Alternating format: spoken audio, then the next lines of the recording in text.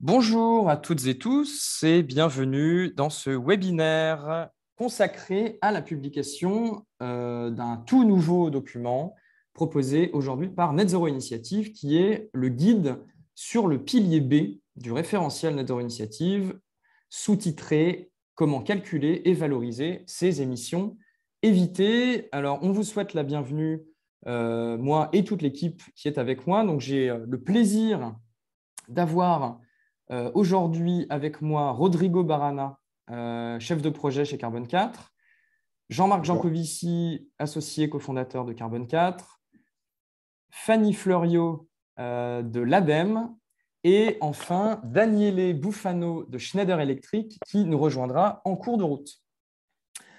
Je m'appelle César Dugaz, je suis le copilote du projet Net Zero Initiative et manager chez Carbon 4 et on est parti toutes et tous ensemble pour une belle heure euh, de présentation. Alors, c'est un jour particulier puisque euh, ce document euh, Net Zero Initiative est une sorte de nouveau jalon absolument essentiel dans la grande construction de Net Zero Initiative, puisque pour la première fois, on a un document qui vient standardiser la notion d'émissions évitées et plus largement la notion de contribution d'une entreprise à la décarbonation de son écosystème.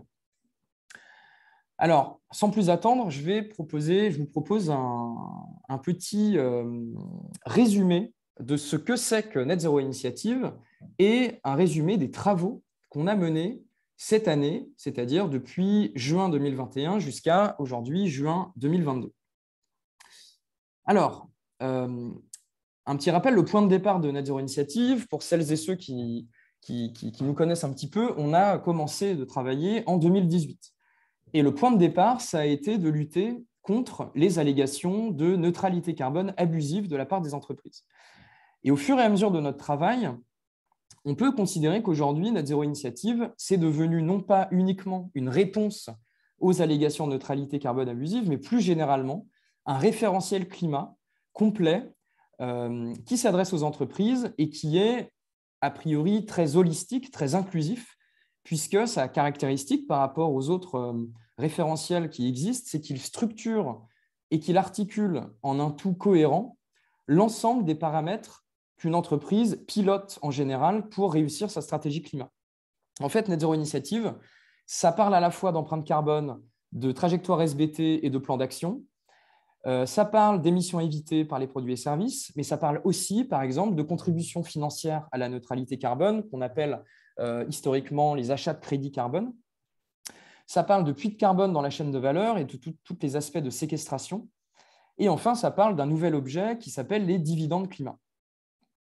Donc en fait, ce qui est intéressant dans, dans NZD, c'est que au fur et à mesure de notre travail sur ce référentiel, on a pu rendre notre travail cohérent avec l'ensemble des référentiels de place, euh, comme euh, les référentiels proposés par le Science Based Targets Initiative, le GAG protocole, que ce soit le Scope 3 ou les travaux en cours sur les puits de carbone, ou encore le, référentiel international ACT qui est porté par l'ADEME, mais tout en les dépassant, puisque on inclut finalement tous ces référentiels au sein d'un chapeau cohérent qui s'appelle ben, la matrice Net Zero Initiative et qui propose une manière un peu cohérente euh, d'articuler sa stratégie climat en tant que euh, contributeur au net zéro collectif.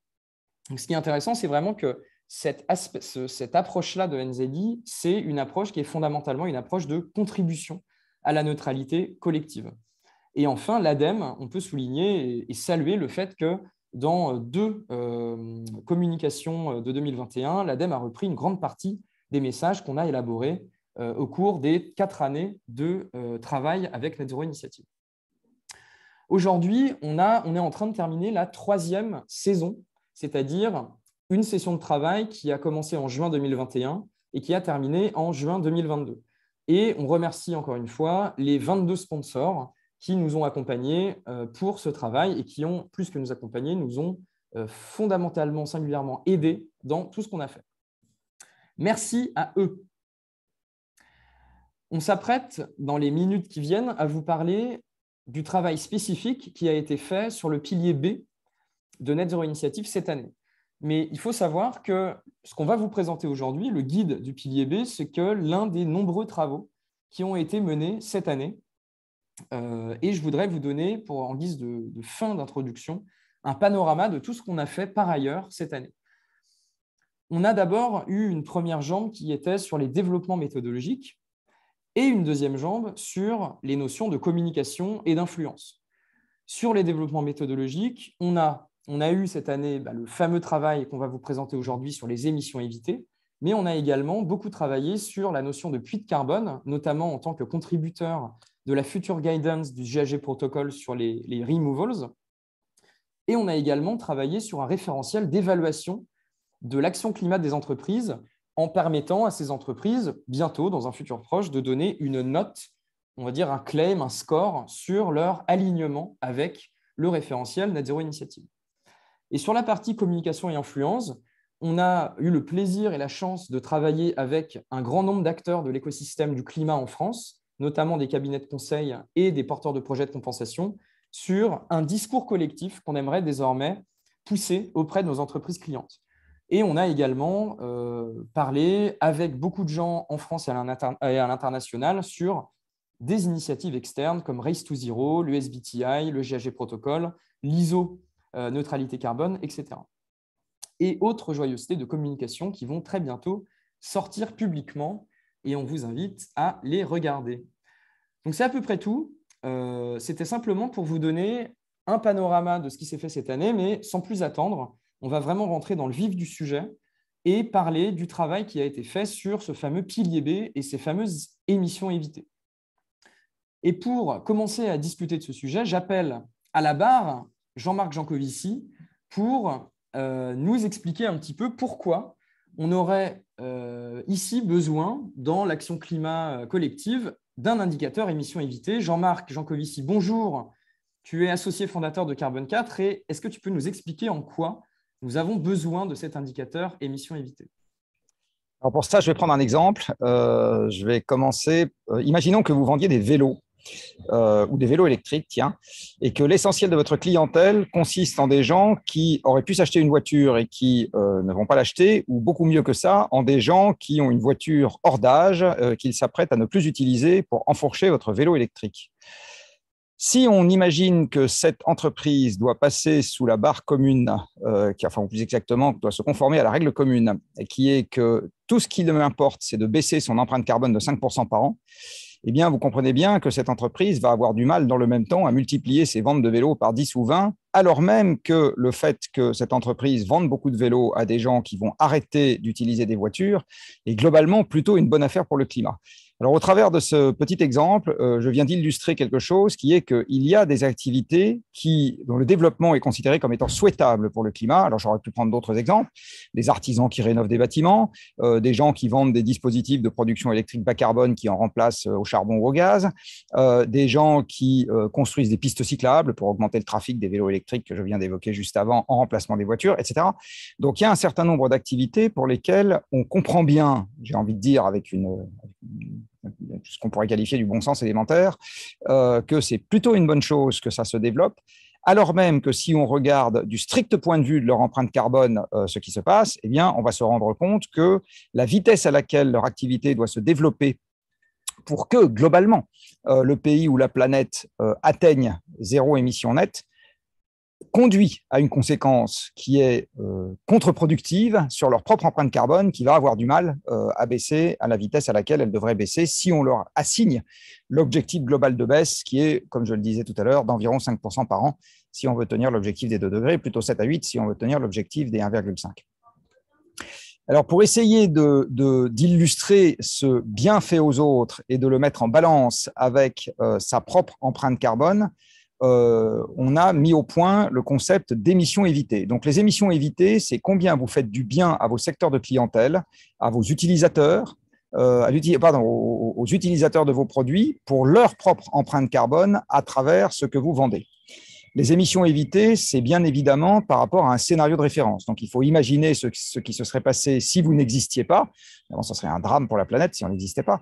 Euh, et euh, comparer avec ce qui se passe vraiment, il y a nécessairement un élément conventionnel là-dedans. C'est la comparaison d'une trajectoire réelle avec une trajectoire scénarisée, imaginée.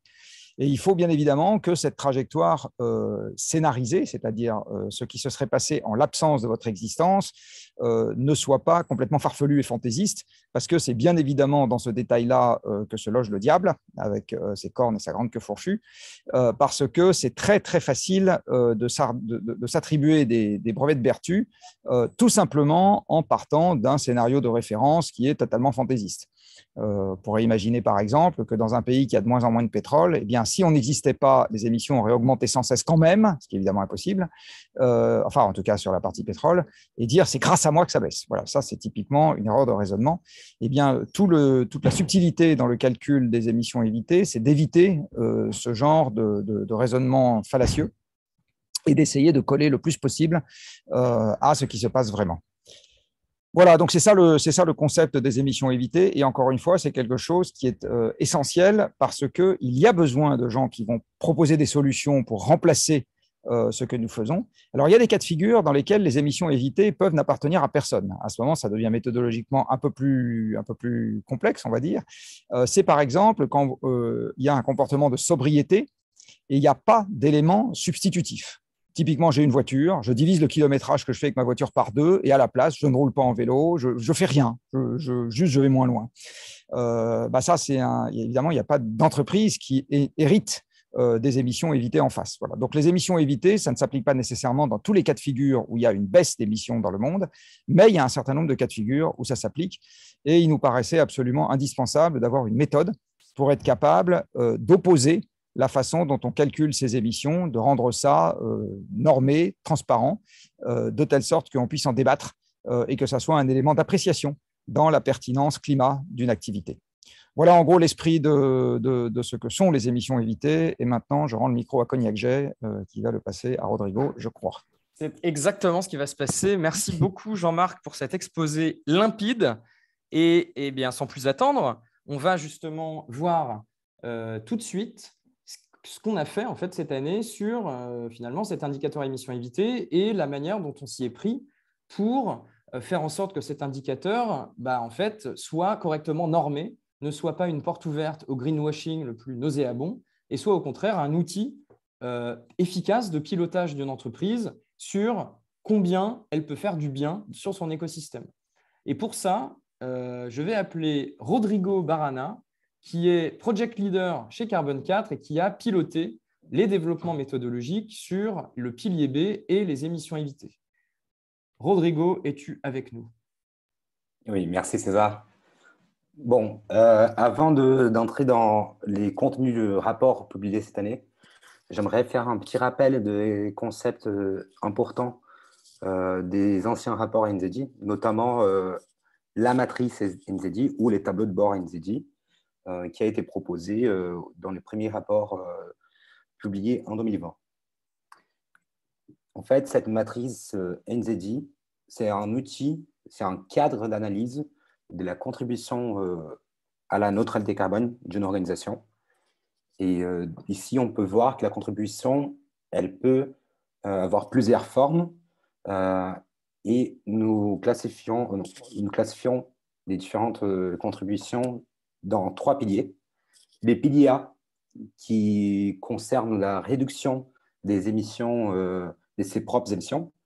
Donc, ici, on parle bien de la réduction de scope 1, 2 et aussi scope 3 dans sa chaîne de valeur. C'est les piliers les plus importants, mais pas les seuls. Ensuite, on a les deuxièmes piliers, les piliers B, qui va aussi concerner des réductions d'émissions, mais cette fois-ci chez d'autres acteurs de l'économie donc de réduction des émissions qu'on ne peut pas voir dans notre propre euh, empreinte carbone. Et donc, dans les B, on parle bien des émissions évitées. Et finalement, troisième pilier, le pilier C, où on regarde la contribution en termes de séquestration, donc la contribution au développement des puits de carbone. Bon, euh, par la suite de cette présentation, on va se concentrer bien sûr sur le pilier B, l'objet du rapport que sera publié aujourd'hui. Si on se concentre sur les piliers B, on a encore euh, trois types de, contributions euh, possibles. On a d'abord ce qu'on appelle le B2, la contribution de mes solutions. Donc ici, dans cette première, premier type de contribution, on parle bien des émissions évitées par les produits et services vendus par l'entreprise, par l'organisation. Du coup, directement les émissions évitées par ces produits chez les clients final. Ensuite, on passe au deuxième type de, des contributions, c'est qu'on appelle les B2 bis, la contribution de, des solutions des mes investissements ou alors les dividendes climat. Euh, ici, c'est euh, euh, un cas spécifique d'émission invitée du B2. C'est quand on investit dans des entreprises qui génèrent des émissions invitées et donc on peut revendiquer une partie de ces émissions invitées au prorata de nos investissements. Et finalement, les B3, euh, la contribution financière à des projets additionnels de réduction euh, ou évitement. Euh, dans cette partie, on parle bien du, financement, du financement des projets en dehors de machines de valeur. Là, ça peut avoir plusieurs formes, par exemple l'achat des crédits carbone ou même les financements directs dans des, des projets de, réduction.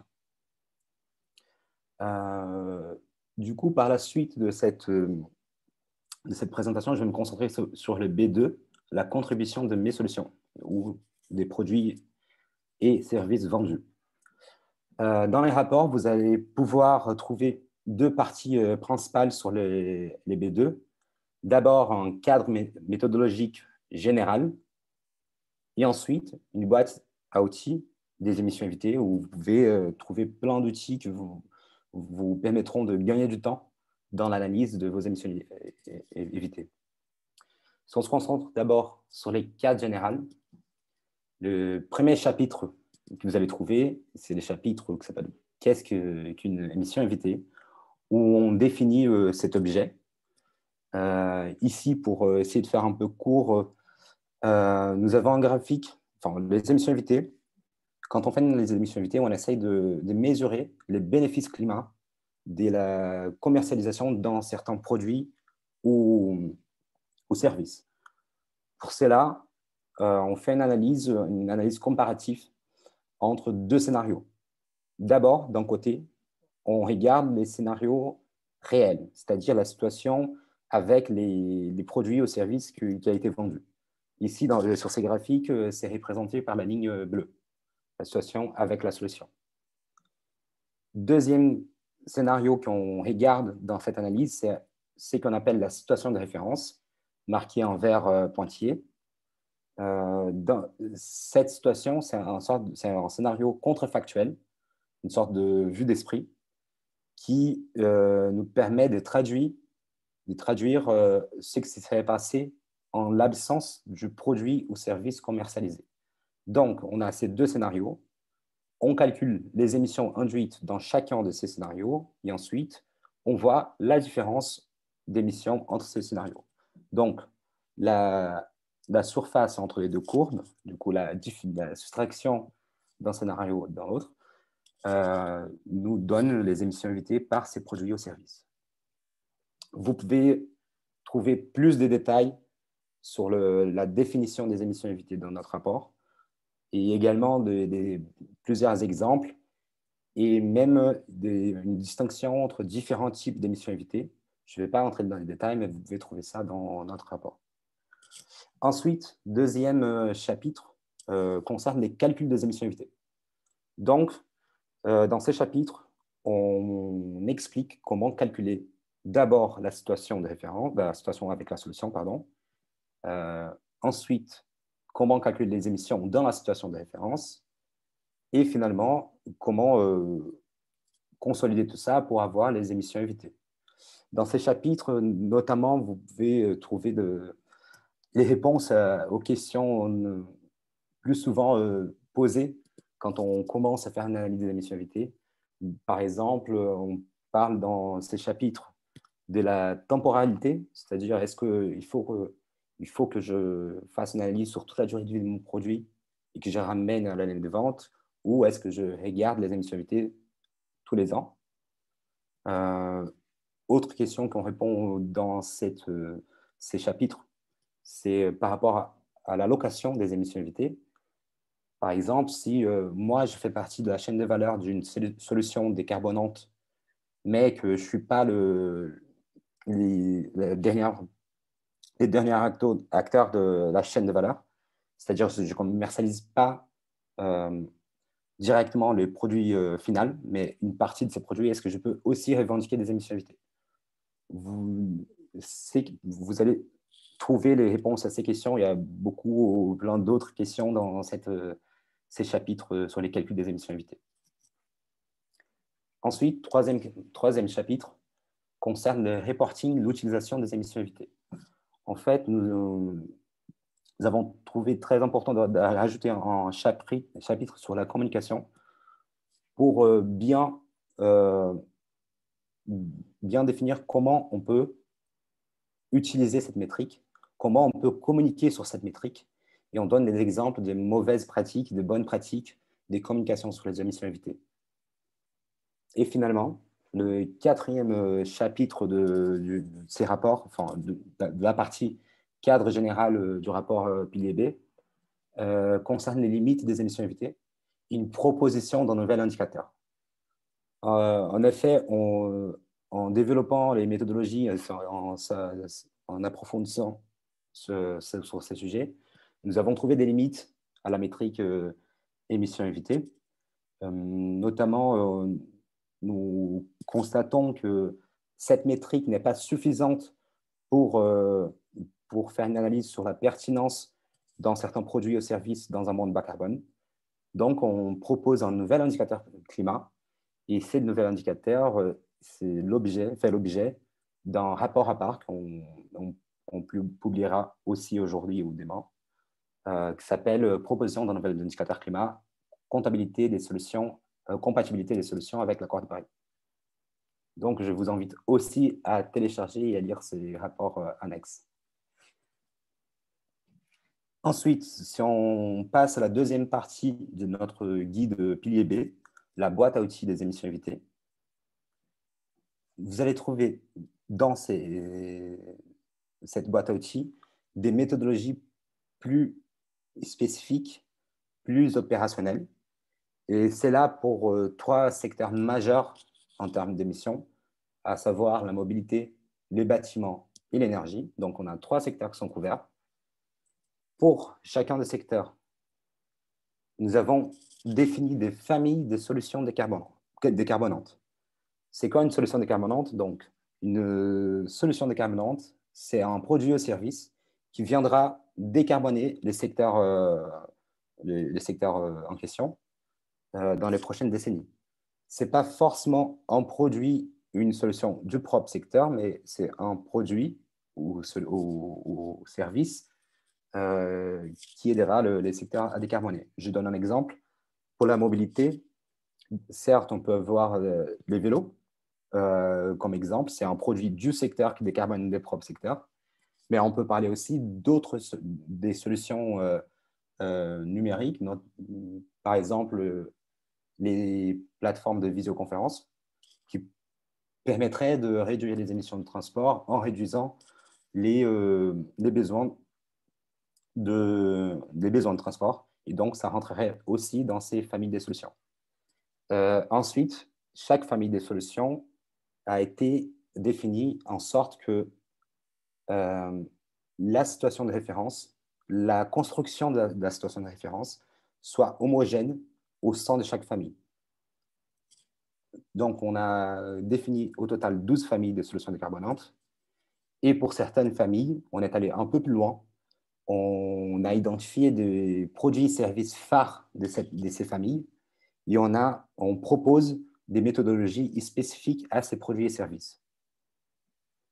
Au total, nous avons traité 11 solutions spécifiques et euh, au-delà des méthodologies proposées, on propose aussi certaines valeurs chiffrées. D'abord, on propose des valeurs chiffrées pour les scénarios de référence en France, donc, euh, vous allez pouvoir trouver des moyennes euh, françaises pour les scénarios de référence. Et on, introduit aussi les concepts de facteurs d'évitement. Les, facteurs d'évitement, c'est euh, l'équivalent des facteurs d'émission pour calculer son empreinte carbone, mais appliqué aux émissions évitées. Donc, on propose aussi des facteurs d'émission, du coup, qui sont, des coefficients euh, par lesquels vous pouvez multiplier le nombre de produits vendus pour avoir directement une première estimation des émissions évitées liées à ces produits. On vous propose 67 euh, facteurs euh, d'évitement dans ces rapports. Et voilà euh, les contenus de guide pilier B de cette année. Je passe la parole à César. Merci beaucoup, Rodrigo. Est-ce que tu pourrais peut-être juste donner une petite info sur cette notion de facteur d'évitement euh, donner un petit peu euh, à tout le monde ici peut-être une intuition de qu'est-ce que c'est que, ce, que ce, nouvel objet, parce que finalement, facteur d'évitement, ça n'existe pas. Est-ce que tu peux expliquer ce qu'on a, ce qu'on a fait derrière ça? Oui. En fait, euh, les facteurs d'évitement, déjà, comment ça, a été calculé?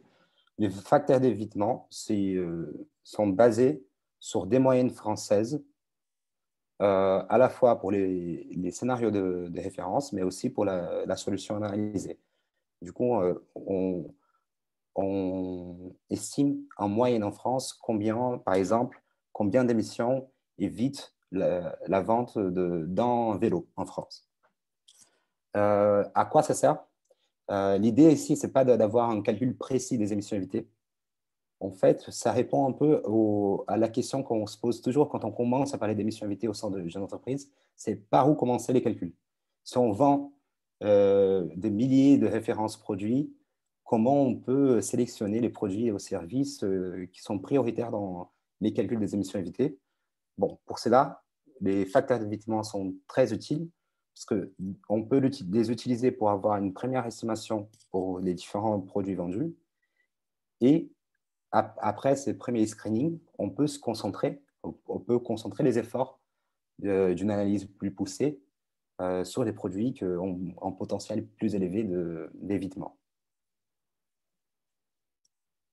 Super.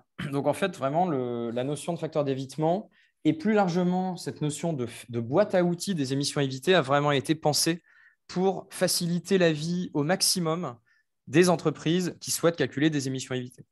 Il faut bien comprendre quelque chose, c'est qu'on a finalement euh, écrit euh, dans le cadre général vraiment l'intégralité de la théorie, c'est-à-dire en gros ce qui, ce qui doit être su, ce qu'on doit savoir à chaque fois qu'on est dans une situation de calcul d'émissions évitées. Et dans la boîte à outils, on répond vraiment spécifiquement à, pour trois secteurs précis, le bâtiment, la mobilité et la production d'énergie, quelles sont grosso modo les grandes familles de produits et services qui évitent des émissions? Pour ces familles, quels sont les grands types de situations de référence? Et pour quelques solutions chanceuses, on a même poussé le vice jusqu'à quantifier en France, vraiment avec des chiffres, quelle est la situation de référence à laquelle se comparer pour un, produit donné ou un service donné, ce qui donne une valeur numérique s'appelle un facteur d'évitement. Et très concrètement, un facteur d'évitement, c'est quoi? C'est un chiffre qui, au même titre qu'un facteur d'émission que vous multipliez avec une, par une activité et ça vous donne des émissions, ben, un facteur d'évitement, c'est un chiffre que vous utilisez, que vous multipliez par vos ventes de cette solution donnée et qui vous donne une approximation de la quantité d'émissions évitées. Alors évidemment, c'est une approximation qui n'est euh, pas aussi bonne que si euh, on fait l'exercice euh, vraiment finement, mais qui donne quand même un premier ordre de grandeur des émissions évitées par une entreprise. Merci beaucoup, Rodrigo, pour cet exposé. Euh, et encore une fois, toutes ces informations, là, on, ne vous livre que euh, la face émergée de l'iceberg. Tout est retrouvable euh, en détail dans le guide Pilier B qui va être mis en ligne à l'issue de ce webinaire.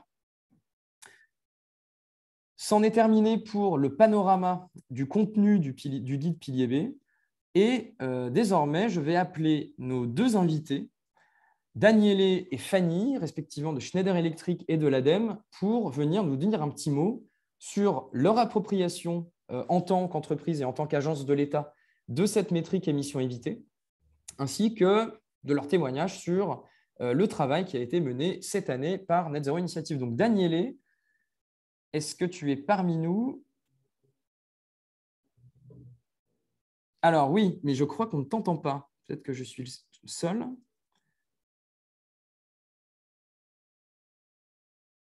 Je ne sais pas si les autres personnes... Ouais, non, personne ne t'entend, Daniel, je crois.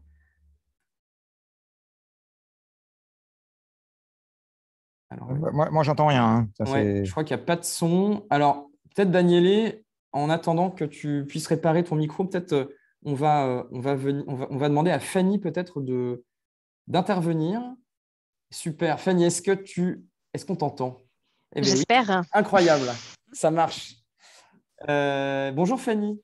Oui, bonjour. merci, d'être là. Tu travailles à la direction adaptation, aménagement et trajectoire bas carbone de l'ADEME. Et pour toi, je crois que les émissions évitées et toi, ça remonte à pas mal de temps.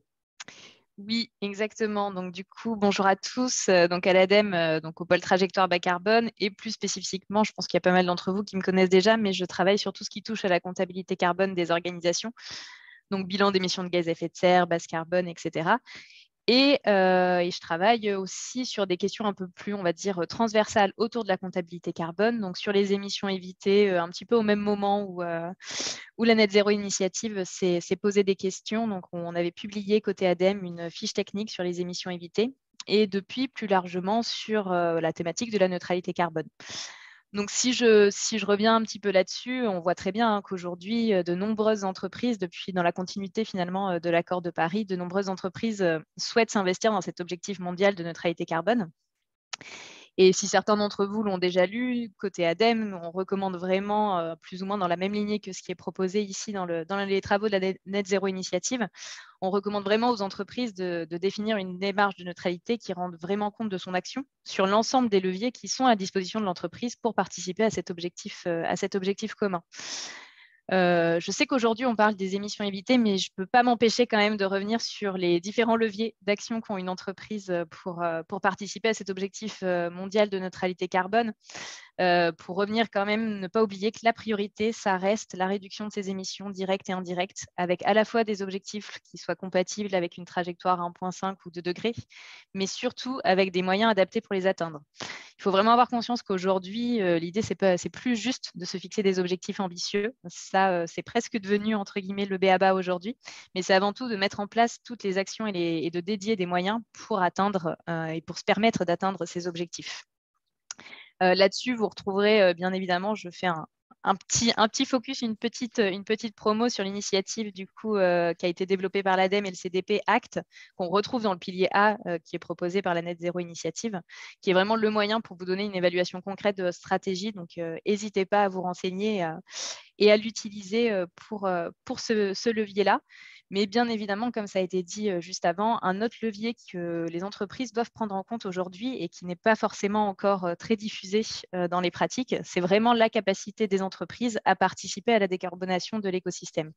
Donc, ce qu'on entend par là, même si voilà, ça fait un peu redite avec ce que vous avez entendu avant, mais nous, comment on le, comment on le traduit et comment on le comprend, c'est vraiment bah, est-ce que mon activité, est-ce que mes activités participent aujourd'hui à la décarbonation? C'est vraiment une nouvelle question que les entreprises doivent intégrer au-delà de savoir bah, quelle est mon empreinte aujourd'hui c'est aussi de savoir bah, euh, est-ce que je participe vraiment à la décarbonation de par mon activité.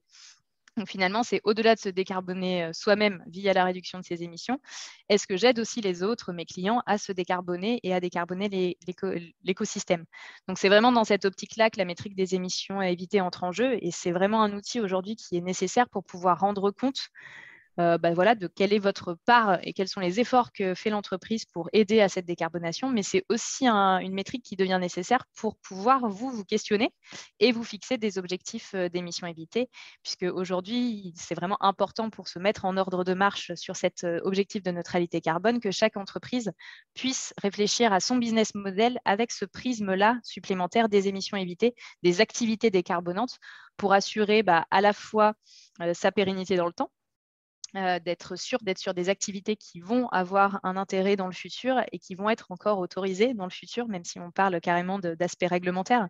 Donc c'est vraiment avoir ce nouveau prisme-là, en plus de ce, du prisme que la plupart des entreprises ont aujourd'hui sur son empreinte euh, carbone, d'avoir aussi cette vision ben, émission évitée et ce prisme émission évitée par rapport à ces activités décarbonantes. Par contre, bah, hein, comme ça a été dit euh, à plusieurs reprises, cette métrique des émissions évitées, n'est pas simple. On va dire que côté, euh, empreinte carbone, on, est pas mal rodé en termes de méthodo. Côté émissions évitées, c'est plus compliqué. Ça soulève de, ça soulève de nombreuses questions méthodologiques, hein, comme on en a parlé, la question du scénario de référence, la clé d'allocation, et des difficultés méthodologiques qui peuvent donner du coup des résultats très différents avec des entreprises qui peuvent, selon, bah, selon le scénario de référence que vous avez pris, selon la clé d'allocation, etc., on peut aboutir à des communications qui sont plus du greenwashing que de la réelle transparence. Et donc, tout ça fait que ça devient quand même, ça reste un sujet qui reste compliqué aujourd'hui. Et dernière chose qu'il faut avoir en tête, c'est qu'on n'a pas de normes internationales sur le sujet. Euh, ce qu'on peut trouver avec la 1464-1 pour les bilans d'émissions de gaz à effet de serre, on ne l'a pas aujourd'hui sur les émissions évitées. Ce qui fait aussi que, enfin, ce qui rend aussi le, travail difficile.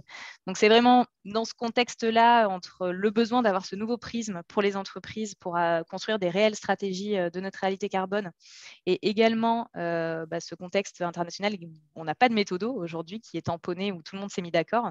C'est vraiment là que les travaux du coup de la Net Zero Initiative prennent tout leur sens avec du coup les groupes de travail qui ont été mis en place avec à la fois des, entreprises du secteur et également les, experts euh, carbone, du coup, côté, euh, côté carbone 4.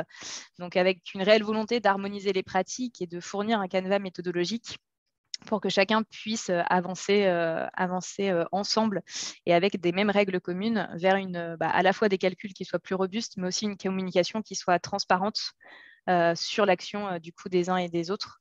Donc, euh, c'est vraiment des travaux qui sont très importants et qui vont devoir se poursuivre. C'est vrai que là, pour l'instant, on n'a touché que trois secteurs. Donc, il reste trois secteurs assez majeurs en termes d'émissions de gaz à effet de serre euh, à l'échelle de la France et même à l'échelle mondiale. Mais c'est des travaux qui vont devoir se poursuivre pour, euh, pour permettre d'avoir des, voilà, des clés de lecture pour l'ensemble des secteurs et pour vraiment donner aux entreprises bah, les outils et les métriques nécessaires pour pouvoir piloter leur action et, qu'on puisse bah, du coup atteindre cet objectif de neutralité carbone à horizon 2050. Donc euh, bravo pour, pour les travaux et je vous invite tous à aller télécharger le guide qui est très complet. Ben, un grand merci Fanny pour ton témoignage. Alors tu restes parmi nous puisque je crois qu'on a énormément de questions dans le chat et si on peut y répondre tous ensemble et tout ensemble, c'est d'autant mieux. Un grand merci. Euh, Daniele. Bonjour César. Ah, quelle belle voix. C'est incroyable.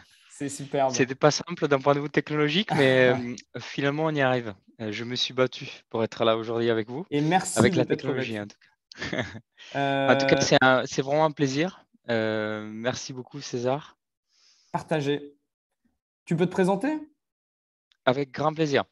Donc, je suis Daniel Bouffan, je travaille chez Schneider Electric maintenant depuis trois ans. J'ai un passé dans les conseils toujours en sustainability. Euh, j'ai travaillé notamment sur, le, sur les évitements euh, des, émissions des Schneider électriques. Euh, on travaille avec Carbon 4 depuis 2018 sur ce sujet particulièrement et on a petit à petit commencé à développer les technologies l'une après l'autre. Il faut savoir, Schneider Electric, j'imagine que vous connaissez très bien, on fait une immense multitude de produits différents. si vous prenez et pensez à l'électricité, la production et la consommation, bah, nous, on fait exactement tout sauf ces deux morceaux, le début et la fin. Donc, on a une palette de produits euh, qui touche euh, plus de 300 000 références différentes euh, qui sont vendues un peu partout dans le monde. Et donc, quand on a commencé à travailler en 2018 avec, avec Carbon 4, la question s'est tout de suite posée, par où on commence? Donc, le grand avantage de travailler dans une boîte comme Schneider, c'est qu'on a beaucoup d'ingénieurs d'intelligence. Et donc, on a commencé à travailler sur les technologies que nous considérons efficaces. donc, je regarde avec plaisir le travail que vous avez fait, notamment pour essayer d'identifier ces types de technologies avec un score simplifié qui permet à ceux qui se lancent dans ce travail, qui peut être conséquent, pour commencer à travailler sur des sujets très précis. Donc, ça, c'est déjà une très bonne initiative. Chez Schneider Electric, nous avons eu ces besoins euh, que nous avons explicités assez rapidement, assez tôt, euh, du coup, il y, a, cinq ans, euh, parce que nous avons deux côtés de l'histoire que nous souhaitions raconter.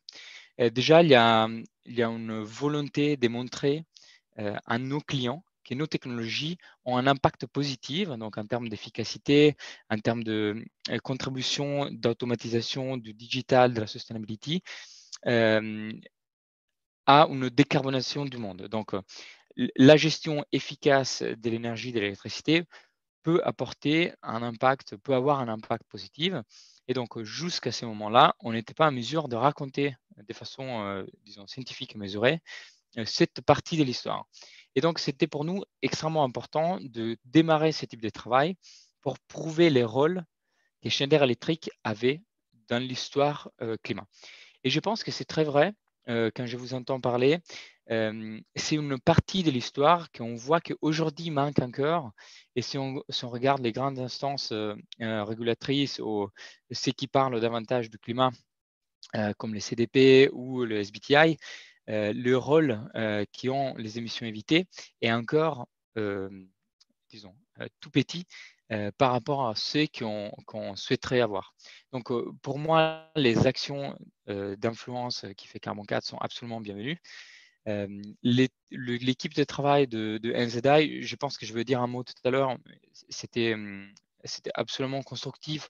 La, méthodologie, la construction de ce type de méthodologie est, je pense, absolument nécessaire, surtout pour des sociétés comme la nôtre qui ont un rôle à jouer et, pour lesquelles 90% de nos émissions CO2 end-to-end sont downstream. Donc, le, premier morceau, du coup, c'était prouver à nos clients qu'on avait une partie de l'histoire au-delà de notre carbon footprint de Scope 1, 2, 3 classique. Les deuxième partie, c'est pour les investisseurs. En fait, de plus en plus, on trouve, on est interrogé par nos investisseurs qui nous demandent de mieux comprendre notre stratégie environnementale, notre stratégie climatique, quel est l'impact qu'on a réellement sur l'environnement et la société? Du coup, le, les calculs des évitements de CO2, euh, qui en interne on appelle en anglais Saved and Avoided Emission, euh, ça nous a permis de commencer à parler à nos investisseurs avec un indicateur mesuré euh, qu'on pouvait de façon transparente publier et ce qui donnait une base rigoureuse de discussions et d'échanges avec nos investisseurs. Euh, nous avons aussi intégré cet indicateur euh, dans notre baromètre de sustainability, ce qu'on appelle en interne le Schneider Sustainability Impact, euh, dans lequel nous avons une ambition d'éviter 800 millions de tonnes de CO2 sur les huit années entre 2018, quand on a commencé à développer cette méthodologie, et 2025. Donc aujourd'hui, on développe cette méthodologie, on couvre environ 20% de notre chiffre d'affaires. Euh, on, est, on progresse dans nos objectifs, euh, mais évidemment, c'est une, importance capitale de pouvoir montrer et mesurer quel est l'impact et les rôles de nos technologies euh, dans le monde.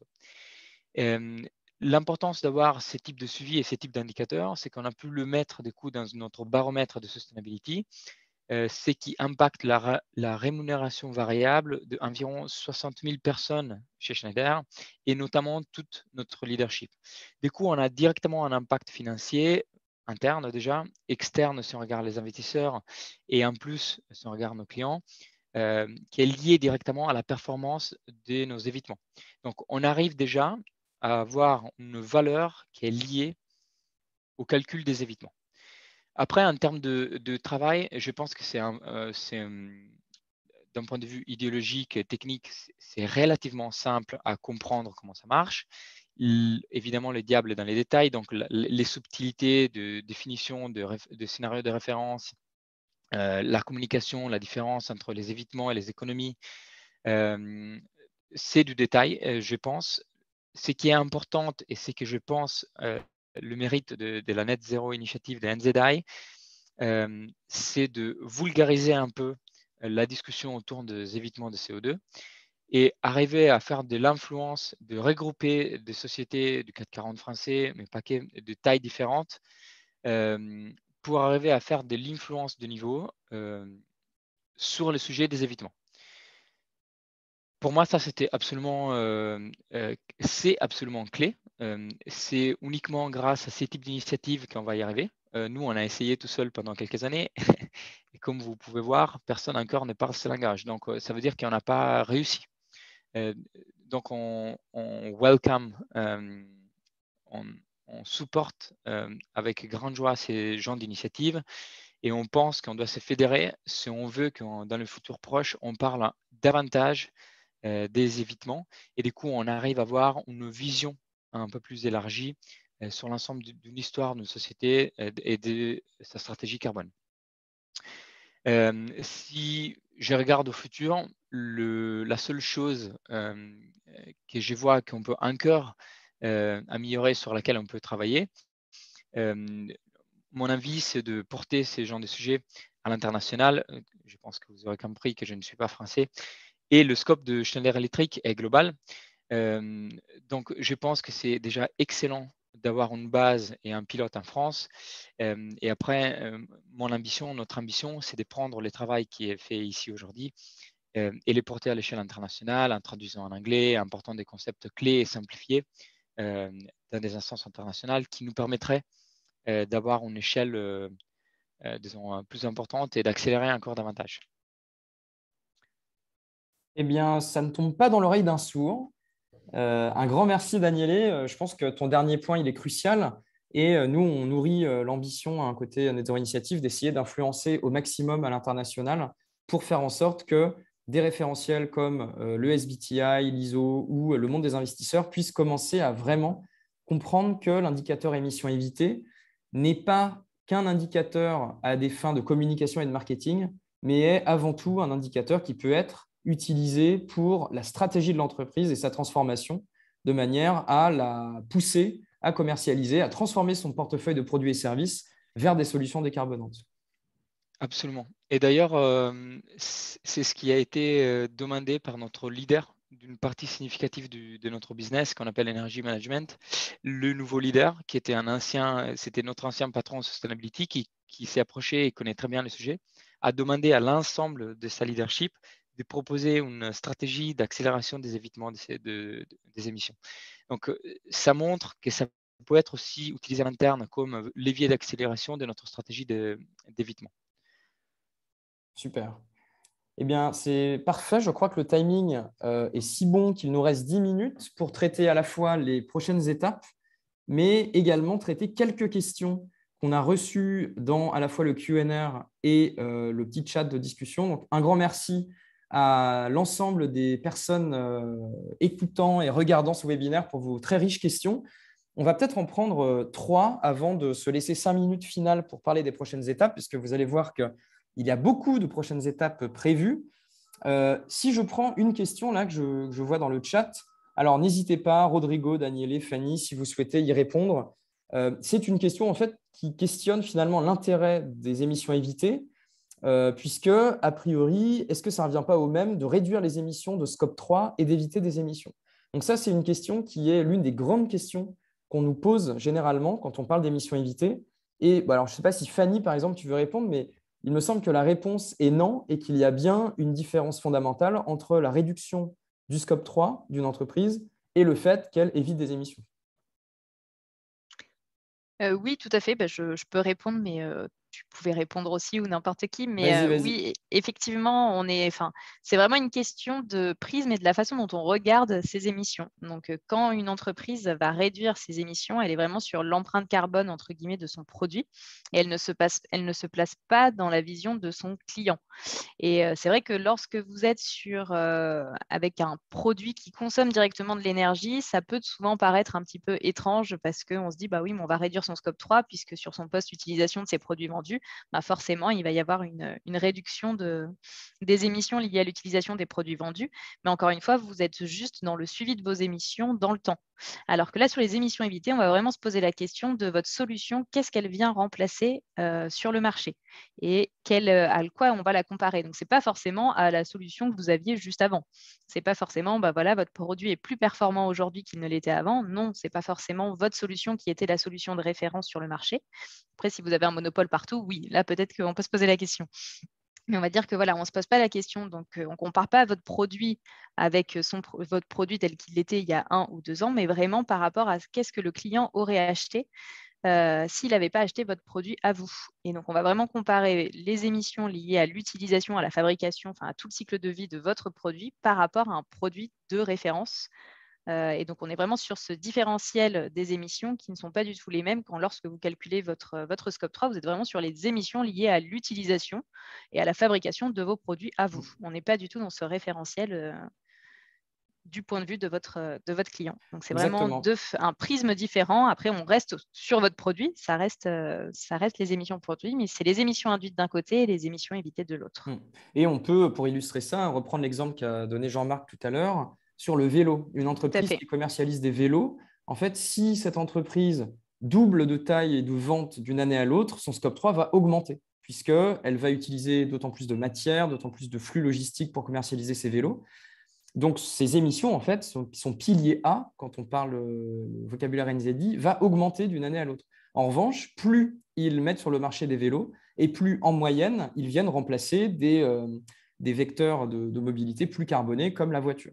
Donc les émissions évitées, ça montre, ça, ça quantifie bien l'impact positif d'un produit ou service sur l'écosystème et qui est largement décorrélé de la manière dont le scope 3 varie au cours du temps. Parce qu'on a des, souvent des, des, exemples qui vont dans le même sens, mais aussi des exemples qui vont dans l'autre sens avec un scope 3 qui augmente et des émissions évitées qui pourtant augmentent.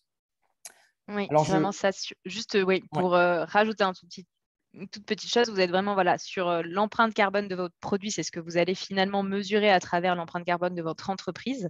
Et avec les émissions évitées, c'est vraiment ce que tu disais, c'est le pouvoir décarbonant de votre solution c'est à quoi elle sert dans l'écosystème finalement. C'est vraiment plus à quoi elle va le servir, alors que finalement, avec votre, bilan GES, vous allez plutôt bah, calculer entre guillemets son, empreinte carbone et améliorer, faire plus de l'éco-conception, améliorer l'empreinte carbone de votre produit sans pouvoir forcément quantifier son pouvoir décarbonant. C'est ça. Et tout l'art du calcul des émissions évitées, c'est notamment de savoir si ce vélo va remplacer de la voiture, de la marche à pied, du métro, du bus, du SUV ou et c'est généralement le cas, une moyenne pondérée de tout ça.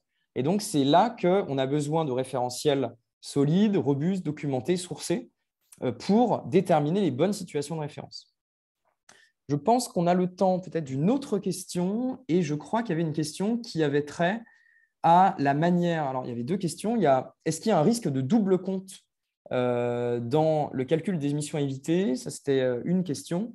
Et une autre question qui était euh, ben, je me souviens plus. Oui, sur le calcul en tant que le calcul temporel des émissions évitées. Est-ce que euh, on calcule à l'année de vente sur toute la durée de vie ou est-ce qu'on peut calculer des émissions évitées année après année au cours de la vie du produit Donc là, je ne sais pas si peut-être Rodrigo, tu souhaites répondre à l'une ou l'autre des questions. En tout cas, la réponse courte, c'est que ces deux questions-là sont traitées dans le guide à la fois la question de l'allocation des émissions évitées dans la chaîne de valeur et la question du calcul, la temporalité du calcul des émissions évitées. Est-ce que Rodrigo, tu veux dire un mot? Oui, euh, pour répondre euh, rapidement, pour la question de l'allocation, euh, la réponse est si il y a des doubles comptes sur les émissions évitées, ce qui n'est pas grave, ainsi comme il y a des doubles comptes dans les calculs du scope 3. Parce que le scope 3, c'est le scope 1, 2 d'autres acteurs. Du coup, dès, à partir du moment qu'on a une cohérence dans la comptabilité du pilier A avec les émissions Android, avec les piliers B, c'est pas grave d'avoir des doubles comptes euh, entre différents acteurs. D'ailleurs, on explique bien ça aussi dans le rapport. Et ensuite, je passe à la deuxième question, euh, la question du, Pardon, j'ai oublié. C'était la manière de calculer. La manière de calculer annuel ou sur la durée de vie.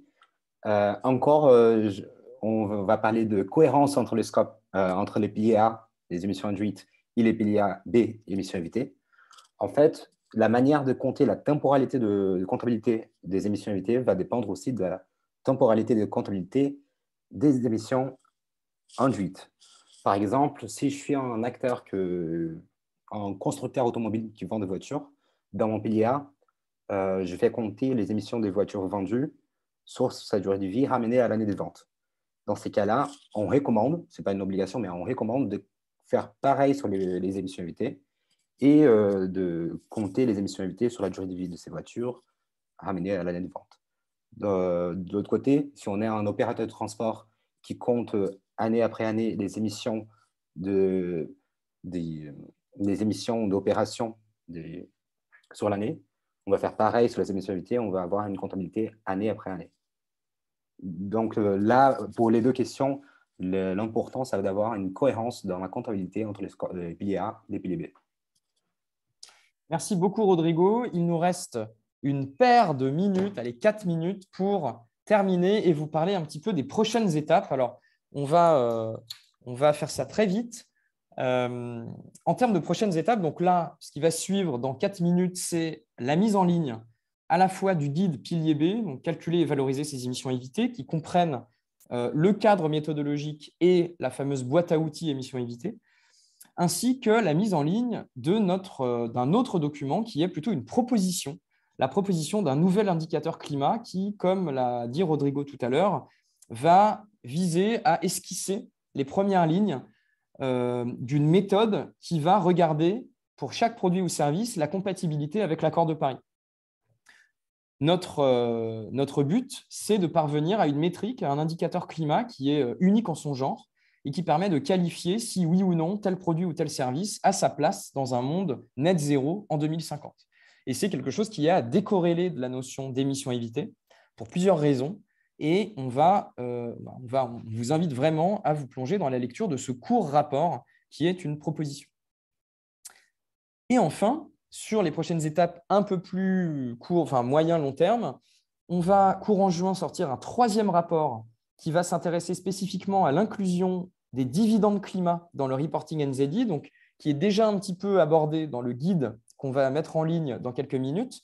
Mais ce qu'on va sortir, c'est un enrichissement suite à un travail qu'on a fait euh, conjointement avec la fondation Climate Dividends. Et dans un mois, nous allons lancer avec grand plaisir la quatrième saison de Net Zero Initiative, où on va repartir pour un an de travaux méthodologiques passionnants et de chantiers de communication et d'influence. Et pour ça, nous avons besoin de vous. Les inscriptions sont ouvertes pour devenir entreprise sponsor. Si vous le souhaitez, vous pouvez euh, nous passer un coup de fil ou nous envoyer un mail pour en discuter et on serait ravis. Un grand merci à tout le monde. Euh, je rappelle peut-être tous les panélistes et encore un grand merci à Fanny, Daniele, Jean-Marc, Rodrigo pour votre participation. N'hésitez surtout pas à nous envoyer euh, des questions euh, par mail ou n'importe quel canal. On va se charger de les transférer à Fanny et Daniele si besoin. Et un grand merci. Le replay sera disponible en ligne dans quelques jours. Et bien sûr, le guide est désormais en ligne où il le sera incessamment. Encore merci et bonne soirée à vous toutes et tous.